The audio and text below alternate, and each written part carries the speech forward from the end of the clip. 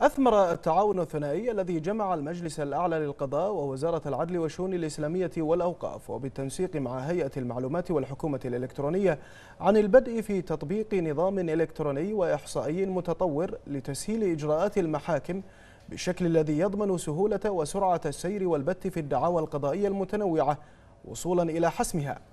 جاء ذلك خلال لقاء ترأسه معالي الشيخ خالد بن علي الخليفة وزير العدل والشؤون الإسلامية والأوقاف بحضور المستشار سالم بن محمد الكواري رئيس المجلس الأعلى للقضاء رئيس محكمة التمييز وعدد من أعضاء المجلس وأعضاء التفتيش القضائي وثلة من القضاة إضافة إلى مدراء ومسؤولين في الوزارة.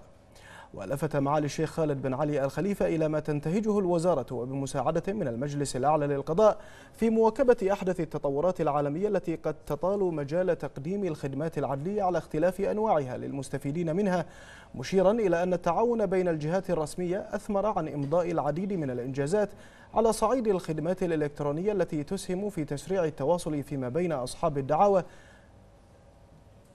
والتي كان آخرها تفعيل نظام المحضر الإلكتروني. هذه فرصة آه، لكي نعكس قناعة حقيقية آه، داخل السلطة القضائية طبعا ولكن أيضا في الأجهزة المساندة لها ومنها وزارة العدل آه، كذلك الدعم غير المحدود الذي نلقاه من الحكومة الإلكترونية أن ثلاثتنا على خط واحد نريد تطوير الإجراءات المتعلقة بالتقاضي بالشكل الذي يتيح سرعة وكفاءة واختصار لمجهود الأطراف ومجهود السادة القضاة في الفصل في النزاعات.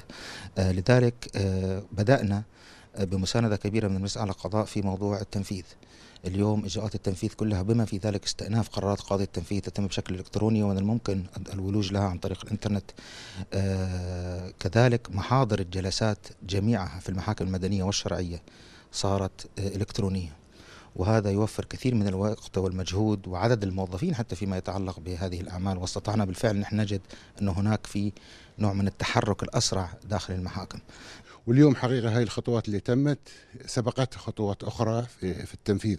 اليوم إحنا في, في إطار الجهاز التنفيذ ألغينا كل العملية الورقية بتاتا وأصبحت حتى الجلسات ألغيت وأصبحت اصبح المتعامل مع التنفيذ يتعامل من الجانب الإلكتروني.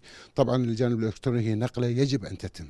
يعني قد ندعي بأن إحنا تأخرنا شوي لكن هي خلاص بدأت وبدأت بالتنفيذ من حيث المحاكم الابتدائية والاستئناف القيت عمليه الورقي.